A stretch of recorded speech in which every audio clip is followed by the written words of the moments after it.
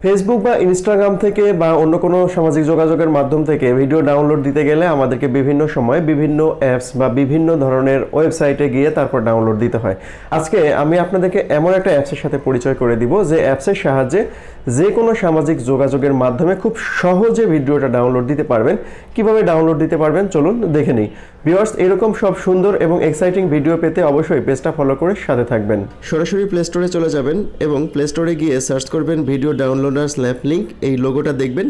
এই লোগোটা দেখে এই অ্যাপসটা ইনস্টল করবেন। ইনস্টল হয়ে গেলে ওপেন করবেন। ওপেন করার সময় কিছুটা পারমিশন চাইবে। যে পারমিশনগুলো আপনার কাছ থেকে চাইবে, সেটা নির্দ্বিধায় কোনো চিন্তা ছাড়াই দিয়ে দিবেন। আমি যেমন পারমিশনগুলো অ্যালাউ করে দিলাম। অ্যাপসটা ওপেন হয়ে গেল। এখন আমরা চলে যাব যেখান থেকে ভিডিওটা ডাউনলোড দিতে চাই। ধরুন, আমি ফেসবুক থেকে ভিডিওটা ডাউনলোড দিব সো ফেসবুকে আমরা চলে যাব। এখান থেকে ধরুন, আমরা একটা রিল ডাউনলোড দিতে চাই। এই রিলটাই আমি ডাউনলোড দিব।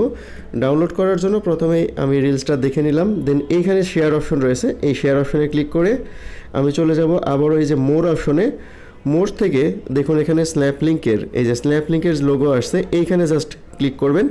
ক্লিক করলে এখানে মেথড আসবে যে কোনো একটা মেথড আপনি ব্যবহার করতে পারবেন। আমি মেথড জিরো ব্যবহার করলাম। দেখুন, এখানে জেনারেট লিঙ্ক ক্রিয়েট হবে এবং এই লিঙ্কটা ক্রিয়েট হওয়ার পরেই কিন্তু ভিডিও ডাউনলোড হয়ে যাবে। খুব অল্প সময় লাগবে, যেহেতু আমি ভিডিওর সাইজটা ছোট দিয়েছি রিল দিয়েছি, তাই কম সময় লাগবে। ভিডিওটা কমপ্লিটলি ডাউনলোড হয়ে গেল, এখন আমরা যদি গ্যালারিতে যাই, তাহলে এই ভিডিওটা দেখতে পাবো। আমি গ্যালারিতে গেলাম, দেখুন, এই যে ভিডিওটা কিন্তু অলরেডি এখানে চলে এসেছে। ঠিক একই রকমভাবে ইনস্টাগ্রাম সহ আরও যে সোশ্যাল মিডিয়া রয়েছে, সবগুলোর ভিডিও আপনি একই উপায়ে খুব সহজেই ডাউনলোড দিতে পারবেন একটি মাত্র অ্যাপস ব্যবহার করে।